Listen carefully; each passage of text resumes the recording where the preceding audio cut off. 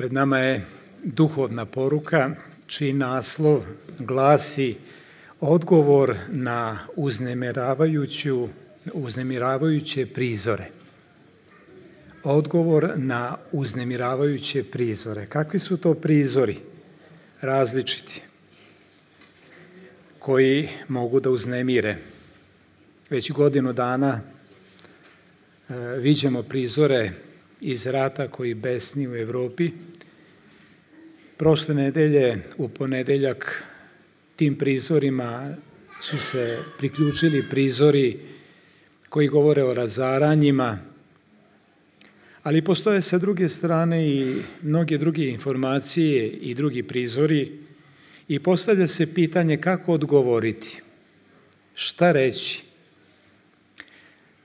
Danas ćemo duhovnu poruku čitati kao odgovor u knjizi Dela apostola u 17. poglavlju od 15. do 34. stiha. Za dobre poznavaoce Svetoga pisma odmah je jasno da je reč o propovedi koju je apostol Pavle propovedao u Atini. I postavlja se još jedno pitanje kako jedna takva propoved može biti povezana sa našim vremenom i u njoj da pronađemo ono što će biti odgovor na prizore koji nas uznemiravaju.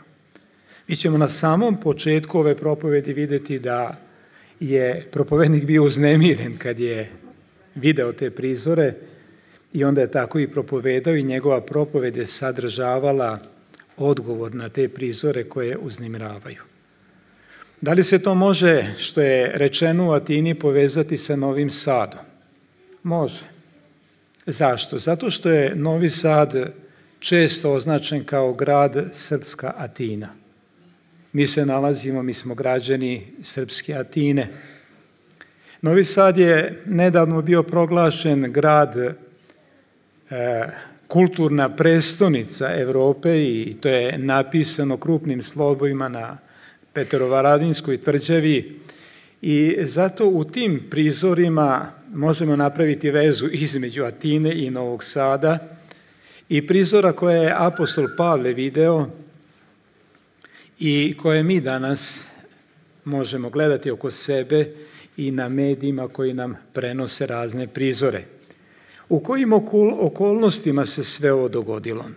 U 15. stiku kaže, a pratioci dovedoše Pavla do Atine i primivši zapove za Silu i Timotija da dođu k njemu što brže vratiše se. Mi ćemo danas puno čitati, dakle, ceo ovaj tekst ćemo sad ovde čitati, a reč je o pratiocima koje su doveli, koji su doveli apostola Pavla u Atinu. Rekli bismo, čitajući prethodne tekstove, da je apostol Pavle, tako reći, zatekao se u Atini.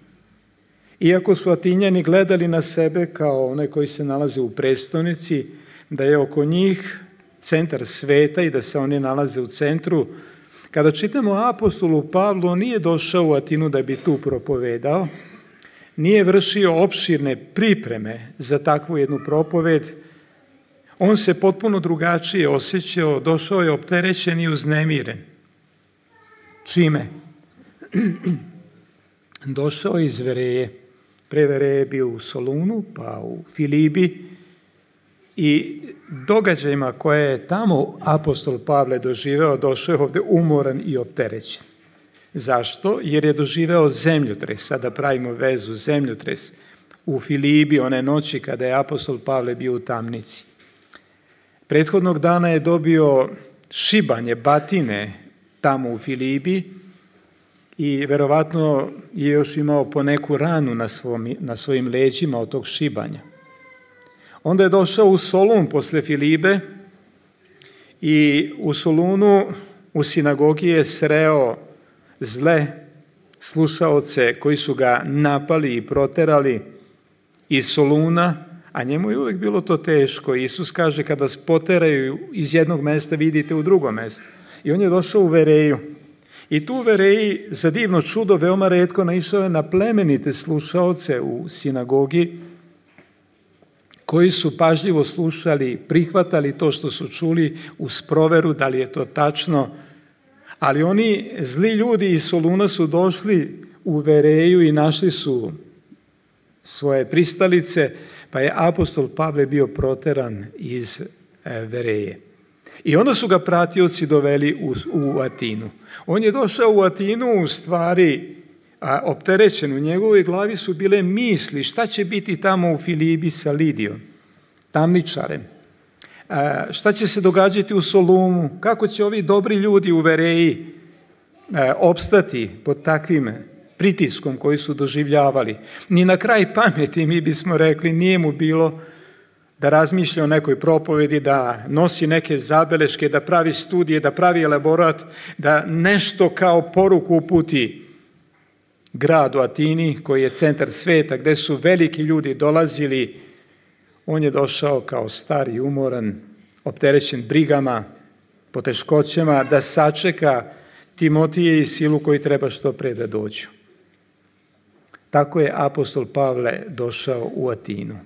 Međutim, Sveto pismo kaže da oni koji se nadaju od gospoda šta dobijaju? Dobijaju novu snagu.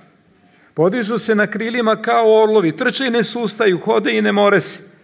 I tako mi vidimo apostola Pavla koji je došao u Atinu, prošetao kroz grad i sljedeći tekst kaže a kad ih Pavle čekaše u Atini, razdraži se duh njegov u njemu gledajući grad pun turista, Atina grada, grad pun filozofa.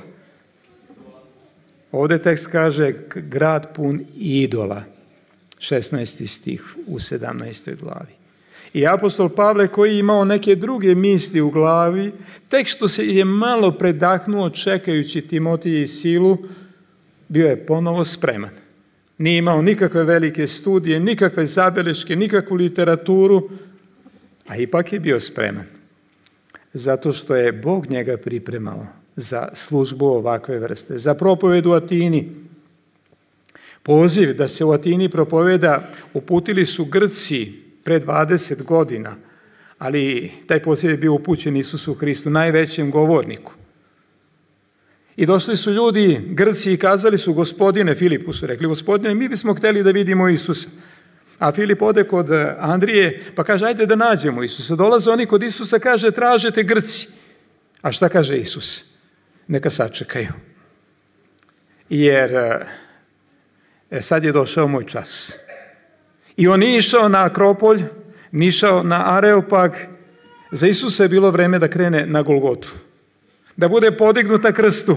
I on nije dozvolio, kaže u knjizi Češnje vekova, da to je bilo u stvari iskušenje, da on odloži raspeće, da se on raspline, da e, priušti sebi čast da propoveda u Atini a on je imao počasti na nebu kao Bog, ali je došao da bude ponizan, da umre na krstu i on kaže, ako seme ne umre, neće novo da nikne.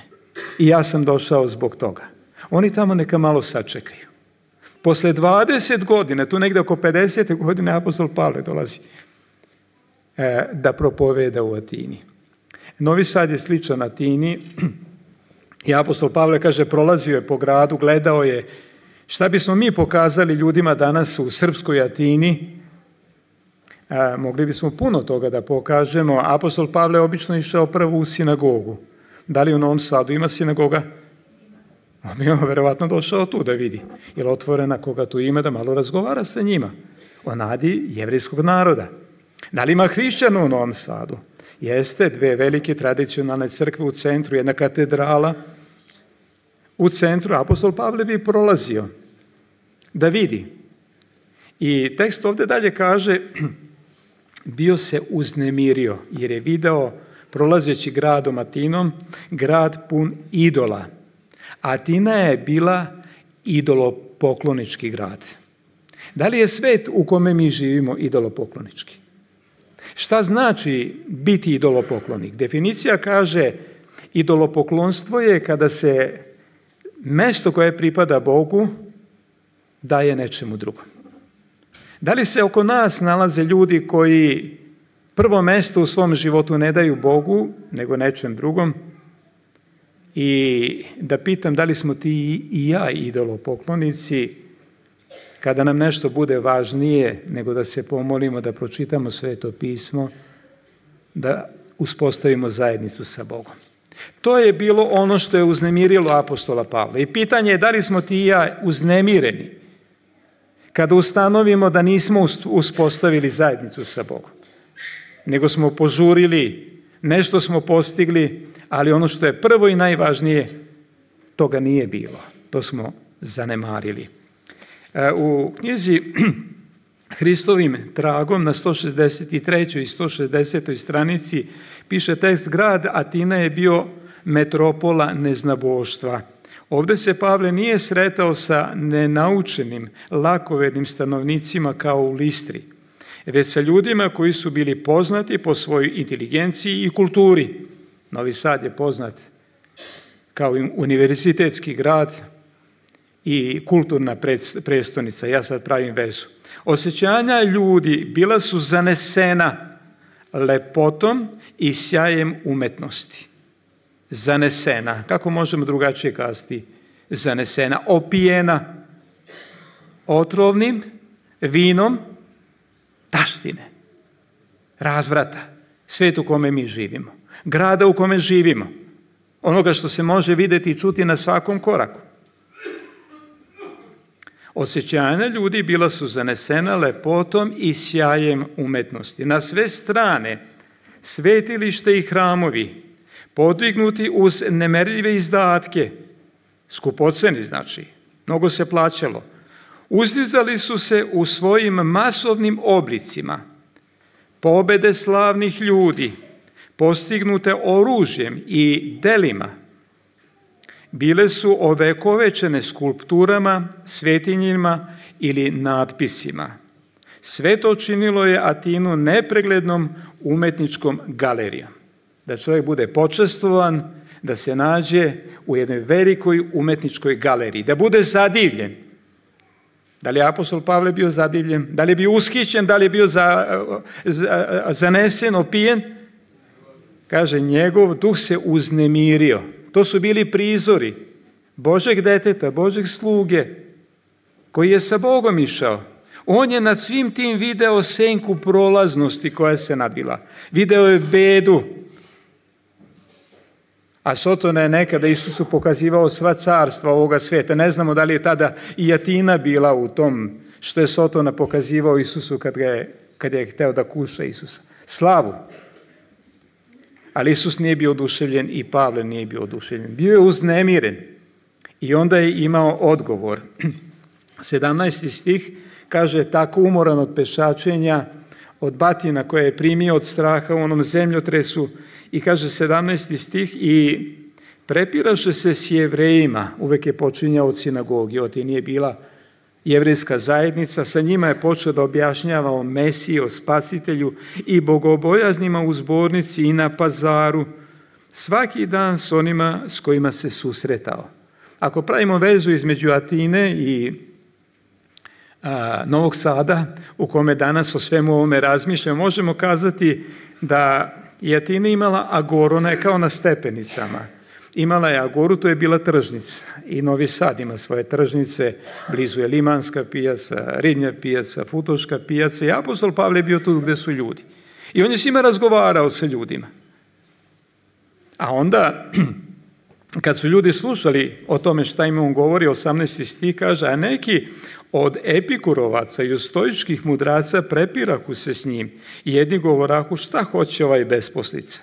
Stari čovjek, besposlen čovjek, putnik, namernik, došao u naš grad, šta hoće? A drugi vidi se kao da hoće nove bogove da propoveda, jer im propovedaše o čemu? Evanđelje o Isusu i o Vaskrsenju. Oni su bili opijeni drugim pitanjima, drugim počastima, drugim uživanjima i ovdje sada nalazimo one koji su bili predstavnici toga, epikurovci i stojici. Epikurovci su bili ljudi koji su voljeli da uživaju, da budu srećni. I njihov rodonačelnik je bio savremenik sa Zenonom, koji je bio opet e, rodonačelnik Stojka i oni su bili nekako vršnjaci, Epikur i Zenon. I Epikur je kazao tamo gdje je smrt, tamo nismo mi. Tamo gdje smo mi, tamo nema smrti. Bogovi, kaže, ne zure odgore da bi nam bilo neprijatno, oni imaju svoje preokupacije, a mi zato možemo ovdje da uživamo. Atina je mediteranski grad, ima puno voća, klima je blaga i Epikur kaže treba uživati. Ko od ljudi ne voli da uživa? Da li vi volite da uživate? Mladi vole da uživaju. A šta kaže Stoa, šta kaže Zenon, šta kažu stoici? Oni se zovu po onim stubovima. Stoa. Šta oni kažu? Treba stoički podnositi udarce života. Treba se uzdići iznad bola. Treba se uzdići iznad nesreće koje se događaju, iznad zla. I mislima se vinuti u svemir. I tamo postići harmoniju između, između svemira.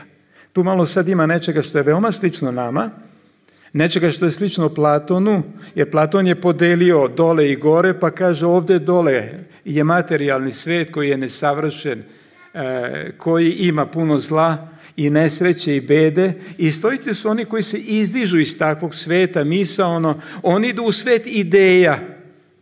Izgleda kao da idu prema Bogu, ali oni idu u svet ideja, nije prema Bogu, nije to isto. I oni razgovaraju sa apostolom Pavlom. U knjizi Hristovim tragom e, stoji napisano da je Isus na filozofiju odgovarao filozofiju. Znao je on šta kaže, šta kaže Platon o materijalnom i duhovnom svetu ideja. On je znao šta kaže Epikur. On je znao da e, ceo ljudski rod želi da bude srećan. Mi u životu stalno hoćemo da budemo srećni, da se da obezbedimo, da nam bude dobro. A stojici kažu mi moramo da imamo, mi moramo da imamo smisao mi moramo da imamo ideje koje su više od toga. I tako je Atina prema Geteu imala tri svetlosti. Imala je svetlost vojnika, kao što su bili Spartanci, imala je, imala je svetlost Aleksandra Makedonskog i njegovog oca i oni koji su osvajali svet vojnika i oni su branili Atinu, oni su polazili iz Atine, kaže Gete, to je prva svetlost. heroja, Druga svetlost su filozofi. Tales iz Mileta nije bio iz Atine, ali su oni znali da je u Atini. Oni su imali Sokrata, oni su imali Platona, oni su imali Aristotela. Imali su Epikura i imali su Zenona. I mnoge druge su imali. Čitava vojska, to je ta druga svetlost. Mudrosti Grčke. Za naše vreme je neko rekao da ima jako puno mudraca, a jako malo mudrosti. E, Grčka je imala veliku grupu mudraca, misilaca, filozofa, grčka mudrost. I treće, to je bila umetnost. E, svi znaju za Homera, za Ilijadu i Odiseju. E, u knjizi Hristovim tragom je opisano kako je svaki prozor bio jedno umetničko delo. Svaka živica, svaka ograda. Grad je bio ispunjen statuama, natpisima. Pa onda imate one stubove, dorski, jonski, korinski. Kad odete tamo kao turisti, ne možete da sve vidite, ne možete da registrujete ono što ste vidjeli. Turistički vodiči pričaju dan i noć tamo u Atini, dolaze e, na hiljade turista da to vide. Braći i sestre, svet u kome mi živimo, na dlanu nam sve to daje, u Novom Sadu, a ja bih rekao i za one koji prate putem interneta, da na internetu isto tako sve stoji kao na dlanu kako je nekada bilo u Atini. E, svet heroja, možda to nisu više sada generali kao što je bio Napoleon, nego imamo heroje u sportu, u, na filmovima imamo, u muzici imamo. Dakle, svet heroja, svet mudraca i svet umetnosti. To je svet u kome mi živimo. I to je svet u kome se nalazi rat, zemljotres, glad, epidemije, pandemije, to je svet u kome mi živimo. Koji ima mnoštvo informacija koje preplavljuju, koje zbunjuju, stvaraju košmar u glavi. Otrovno vino čini otupelim naša čula. Mozak je zbrkan, ne može da se organizuje, misli ne mogu da prate određenu liniju. Nemaju pažnju, pažnja ih ne drži više. Ne znam sada mi ovdje koji sedimo, koliko dugo mogu ja da propovedam, koliko će nas pažnja držati. Apostol Pavle je bio u jednom takvom svetu. I oni kažu, evo sve to mi imamo. Pa ga uzeše 19. stih i odvedoše ga na Areopag, govoreći, možeš, možemo li razumeti kakva je ta nova nauka što ti kazuješ? Jer nešto novo mećeš u naše uši. Hoćemo dakle da vidimo šta će to biti. A Tinjani i svi putnici iz drugih zemalja ne bijahu ni za što drugo, nego da što novo kazuju ili slušaju. Da li je svijet e, u kome mi danas živimo takav? Da li su novosađani takvi? Da li smo mi takvi? A, ima jako puno sličnosti u svemu ovome. I oni sada apostola Pavla vode. Prvo je razgovarao pa su vidjeli da to nije besposlica, da nije to čovjek koji nema šta da kaže, on ima šta da kaže i zato što ima šta, šta da kaže više neće govoriti, više neće govoriti na agori, tu na pijaci, tu je buka, tu se ljudi kreću, nema koncentracije. Oni će njega sada odvesti tamo gdje je tišina, gdje ne može svako da dođe da govori i gdje ne može svako da dođe da sluša, nego samo odabrani. Gdje bismo mi u Novom Sadu takve odveli?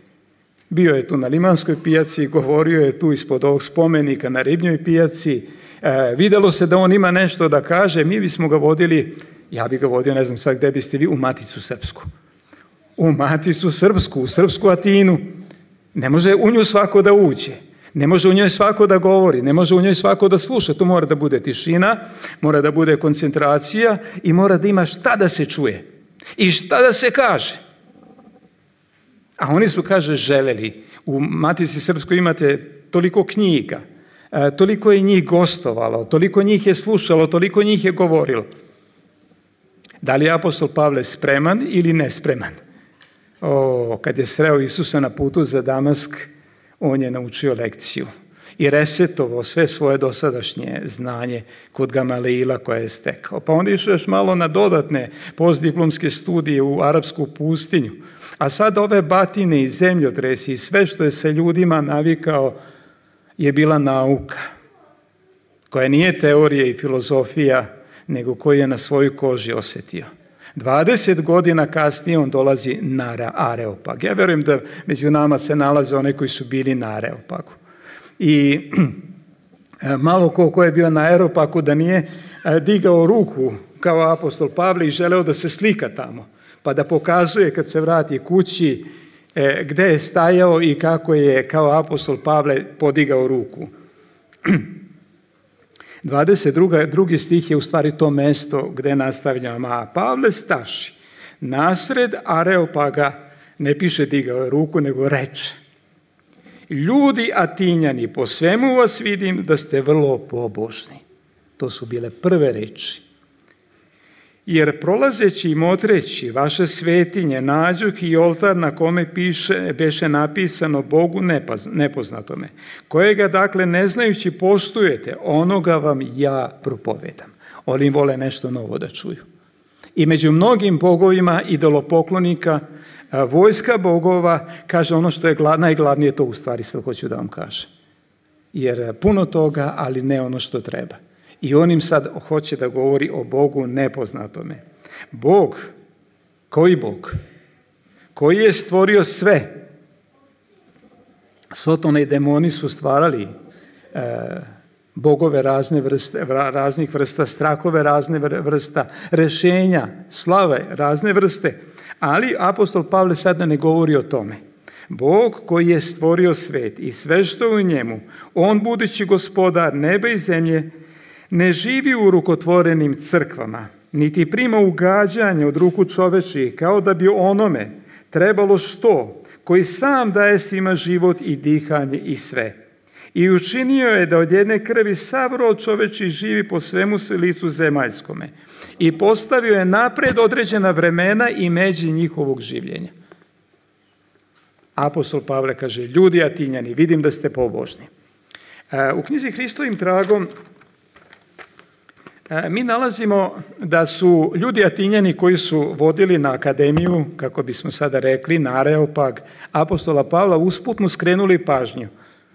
Da će sada govoriti na mestu na kome se mora paziti šta se govori. Nekad je Sokrat govorio na tome mestu i šta je poslije bilo sa njim. popio je otrov, izvršio samoubistvo pod pritiskom, stradao je zbog svojih ubeđenja i svoje filozofije. I sada kaže u knjizi Hristovim tragom, oni njega vode i kaže sad ćeš govoriti, ali pazi šta ćeš reći. Nemoj da prođeš kao Sokrat. Pavlove reči predstavljaju riznicu znanja za crkvu. Braćo i sestre, Pavle ono što je rekao je riznica za mene kad ja treba nešto da kažem. Za svakoga od nas, da ne stavimo prst u oko ljudima.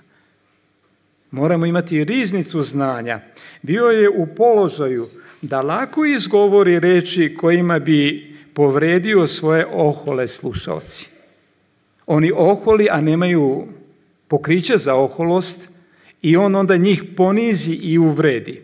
A samogo sebe doveo u nepriliku da je njegov nadahnuti govor predstavljao neposredan napad na njihove bogove, na njihove idole i velike ljude toga grada, filozofe, on bi se našao u opasnosti da doživi Sokratovu sudbinu.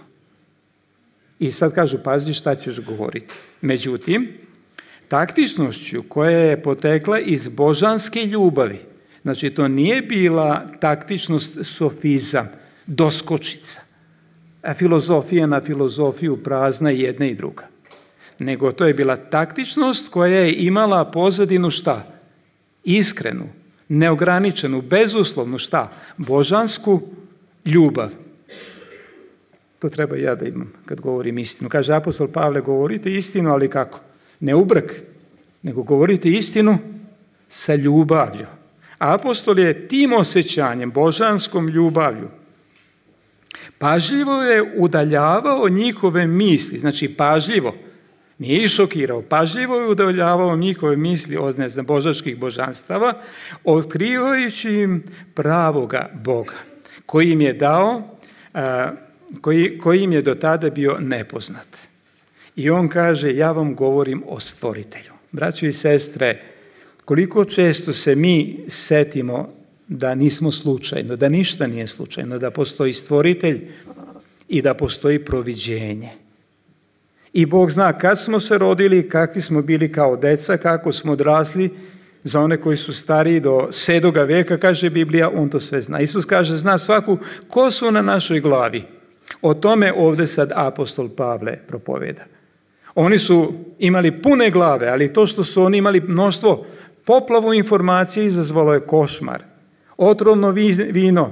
Znači, s jedne strane filozofiju koja zbunjuje i s druge strane razvrat. S treće strane patnje i prolaznost. A niko ne rešava. Svi hoće da budu srećni, svi hoće da imaju smisla. A nema ni sreće ni smisla i ne može da se reši problem smrti. I onda, Isus, e, onda Pavle ide redom. On kaže, postoji stvoritelj koji nas je stvorio, koji zna sve o nama. I ne samo da zna, kao što kaže Epikur, tamo negde, i obavlja svoje poslove, nego on se utelovio i to je sad dalji tekst njegove propovedi. Pazite kako on nastavlja. Da traže gospoda, 27. stih, ne bi li ga barem opipali i našli, premda nije daleko ni od jednoga od nas. Epikur kaže daleko, kaže, ne interesuje se, dualizam. Sve je to Pavle znao, ali nije to istina. Kaže, on se interesuje, jer kroz njega živimo i mičemo se i jesmo. Apostol Pavle kazao, kroz Isusa Hrista je postalo sve što je postalo i održava u životu. Ne samo da je stvorio, nego održava. Od svega što je postalo. Kao što i neki od vaših, e, kaže, mičemo se i jesmo, kao što je neki od vaših pevača rekoše, jer smo i rod njegov. Kako rod? Pa on se utelovio. On nije Bog koji je na nebu. Grčki bogovi i mitologija, tu imamo neke mešavine, kombinacije, ali ovdje je istina. Ovo je jedino, umjesto da kazni grešnika, on je kaznio sebe. Da bi kaznio, on se utelovio, on se ponizio. I sada tu apostol Pavle koristi Epimenidisa, koji je živao oko 600 godina ranije, koji kaže da se mičemo kroz Boga i jesmo. Pa kaže, mi smo njegov rod. To je rekao Aratus negde oko 300, 270 godina pre Krista, pre apostola Pavla. On je to sve znao, on sad citira. Šta je u stvari apostol Pavle radi? On je od poznatoga Epimenidisa, a, ovoga, a, a, Artusa, išao ka Isusu Hristu. Kad smo dakle rod Boži, ne treba da mislimo da je božanstvo kao ikone zlatne, srebrne i kamene. Ima li u Novom Sadu vrednih predmeta kao što su ikone zlatne? Pa kad vodiči vode turiste kroz Novi Sad, kaže vidite ovo, ovo je toliko staro. Čuveni umetnik, a košta? Evo apostol Pavle kaže, onaj koji je mene stvorio, koji je stvorio i to zlato, i te umetnike, naučio i sve to. On kaže, ne prima, e, koji ne prima ugađanja, jer koji su ljudima, ljudi načinili po svome, po svome mišljenju. Ne gledajući Bog na vremene neznanja, sad zapoveda svime ljudima da se spasu, da se pokaju. Ja upotrebio reč apostol Pavle. Dakle, on nije zadivljen kao turistički vodič ili kao turista koji je zadivljeno zinuo i divi se tome. On ide od poznatog ka nepoznatog. I kaže, Bog se utelovio, on je sišao. I njemu nije potrebno ni zlato, on to sve ima. On traži da se pokajemo. Isus Hristos kaže pokajte se jer se približi carstvo nebesko. Da li ljudi oko nas treba da se pokaju za nešto? Da li ima loših stvari koje se događaju u ovom grešnom svijetu? Jako mnogo. Pitanje je da li ja treba da se pokajem, da li ti treba da se pokaješ za nešto što je bilo pre deset godina. Da, mi se takvi stvari krupnik neki sećamo, ali možda jutros nešto bilo. Možda malo čas tu kad nam prođe neka misao kroz glavu da se pokajemo. Nešto što se juče dogodilo. On traži da se pokajemo jer je postavio dan u koji će suditi vas i onome svetu po pravdi preko čoveka koga odredi i dade svima veru vaskrsnuši ga iz mrtvih. To je kraj propovedi. On je tu zakucao. Šta je kazao? Bog se utelovio. Jer je postavio dan u koji će suditi vas i onome svetu. Mi živimo. To je vest trojica anđela. Bojte se Boga, stvoritelja. Podajte mu slavu jer dođe čas suda njegova. Poklonite se onome koji je stvorio najbolji na zemlju. To je prva vest. A druga vest kaže pade Vavilon. To je ta zbrka. U savremenom svetu, u Atini, košmar u glavi kod mnogih, pa možda i kod mene. Oni kažu, hoće sve nešto novo. I okrenu mobilni telefon sve na dohvat ruke. I mudrost, i vladaoci, i veličine svakojake vrste. Ali ovde kaže, u evanđelju se nalazi čovek koji je Bogo čovek, Isus Hristos. On će suditi po pravdi. E, mi danas neke duhovite stvari pročitamo na Facebooku. Ja se često puta čudim, reko, kako je duhovito? Kako se samo setio? A ima neke mudrosti, neke narodne poslovice. Ali to sve je malo, to je zbunjujuće. To je sveto pismo, to je isprovaljeni studenac ovoga sveta. Ali nije sveto pismo ovo koje je apostol Pavle propoveda, nije evanđelje. Liči na istinu, ima trunka istine. I ovi umetnici o kojima apostol Pavle ovde citira, ovaj, Aratus, znači oni su nešto od tih trunki uzeli, ali to nije zajedno, to nije raspoređeno. To nije kompletno onako kako treba da bude. Kaže čovek, e, Bog, Isus Hristos koji se utelovio, on ima pravdu. Kod njega je to kratko i jasno, po pravdi. E, I dade svima veru. Znači, kada govorimo o pravdi, mi govorimo o delima. I velika dela su bila u, u, u Atini i ovde u Novom Sadu velika dela i treba još neke velike stvari da se rade u Novom Sadu i mi svaki dan slušamo o tome. Međutim, pravda je deset zapovesti, jako jednostavna. U deset reči, kaže Mojsije, sažeto. I onda mi kažemo, ali to je za nas nedostižno. A onda kaže, verom mi prihvatamo pravdu, koja je stvarna pravda. Kakva je to pravda? To je Hristova pravda, čoveka, koji je umro na Golgoti, ne svi ovi mudraci, njihovi, nego Isus Hristos, spasitelj. I on nama to daje verom. Vera i dela u posljednjoj rečenici ovoga teksta. I na kraju kaže, vaskrsnuši ga iz mrtvih. E, to je rešenje za problem. Ako živimo i umremo, idemo negde u svet ideje ili na drugu stranu reke, kako su Grci verovali, ili ne znam kako sve drugi danas veruju tu oko nas, tradicionalni i novi. Dakle, to sve zbunjuje, to nije ono što Biblija uči. Ali Biblija uči o Isusu koji je vaskrsao. Treći dan po pismu I šta kaže ono vjeruju hrišćana tradicionalnih, e, koji će opet doći u slavi, da sudi živima i mrtvima, čijem carstvu neće biti kraja. Mi čekamo vaskrsenje mrtvih i život budućeg veka. Tako apostol Pavle završava ovu propoved. I šta je onda bilo? A kad čuše za vaskrsenje iz mrtvih, onda se jedni rugahu, a jedni rekoše da te čujemo opet o tome. To su agnostici. Šta znači agnostik? Gnoza je znanje. I onaj ko je agnostik, on ima veliko znanje. A agnostik šta je to? Je to neznalica? Ne, to je atinjanin. To je naš svetovni čovek u Novom Sadu i onaj drugi tamo širom sveta. Koji tako puno zna, a ne zna ono što treba. I nema rešenje za smrt i sve ostalo. Nema rešenja. I on kaže, ja jako puno znam, ja znam tradicionalne hrišćane, ja znam protestante, ja znam sinagogu tu, tamo na Tekijama ima polumesec, imamo islama u Novome Sadu, mi imamo i hinduističku religiju, i mi to sve imamo. I ja sam čitao knjige o svemu tome. Imam mnogo informacija i prema tome ja sam neodlučan. Nije neznalica, nego previše zna, ali ostaje takav gde jeste, takav kakav jeste, grešan, zbunjen, uplašen, opijen vinom Babilona posljednjeg vremena i to je vest koja se odnosi na naše vreme. To je ono što je Pavle propovedao, jer prvi vek je preslika 21. veka, kad Isus treba ponovo da dođe. I zato oni kažu, mi, mi smo, nešto je ovo interesantno što si im rekao, moramo malo da razmislimo imamo jednu mladu osobu, kada mi njoj kažemo nešto što ona ne voli, ona kaže ja razmislit ću. A to razmislit ću nama znači neću, ne slušam ja to, ne slažem se ja s tim. A kaže razmislit ću, vrlo lepo. Oni kaže mi ćemo tebe, ta, kada je reč o vaskrsenju, ponovno da slušamo. Savremeni čovek je toliko zbunjen, toliko uplašen. U teoriji jugoslovenske književnosti je neko oslikao jedno tako stanje u jednom stihu koji kaže na trošnom čunu bez krme i nade u meni vera gubi se i mre. Ja više ništa ne verujem, ništa, jer bolje reći ja verujem sve.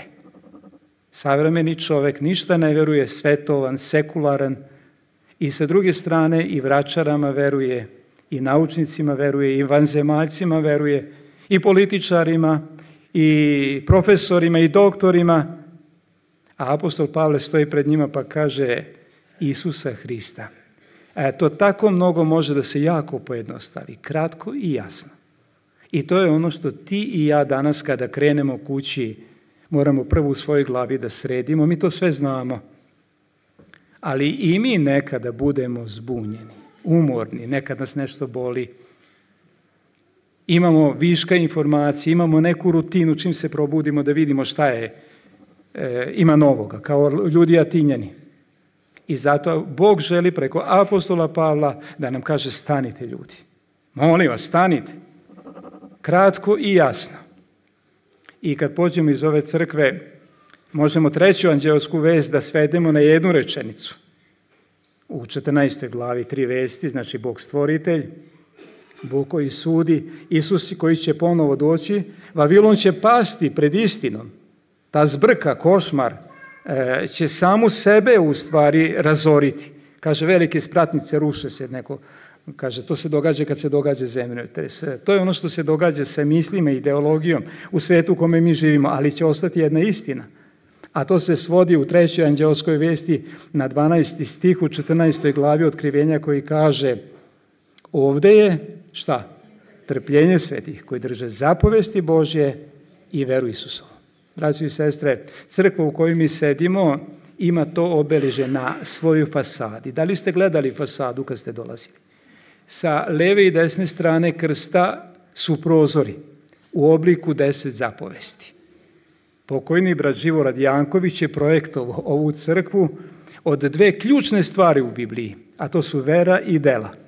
Zapovesti, prozori u obliku deset zapovesti, a u sredini krst, to je vera, To je Bože milost, to je Bože blagodat. Ja bih tome dodao i ovaj svod koji sad nema, zvezdano nebo, kad se upali, znamo kako izgleda, to je Isus koji dolazi. I arhitekta kaže, kad budemo stavili tu krst, tu ćemo sa leve strane, evo upalje, hvala lepo.